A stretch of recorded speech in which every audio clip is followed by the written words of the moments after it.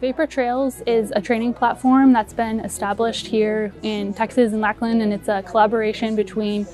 uh, us, the 59th Medical Wing CCAT teams, and then also Guard Flying Unit and Guard AE Unit. It is a great training sustainment program that we, we've established here. So something that's different about this specific training is that normally we package and start our scenario right here at Camp Bramble, but in this training exercise, we're actually going to be receiving the patients from Texas A&M Disaster City. It's a different scenario to throw our teams into, but could also increase the realism that they, they might be thrown into.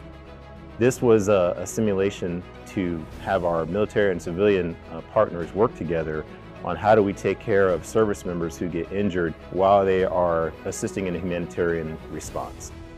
Uh, the scenarios for this training are based on real world scenarios and then also some of them are made up but we try to stress the providers as much as we can for situations that they would see whether they're here stateside, abroad, so they can you know feel that they are ready to take care of any patient this training is very important because it helps us stay ready for not only war but also like national disasters, whether our mission will be here stateside or if it will be, you know, deployed to a combat environment overseas.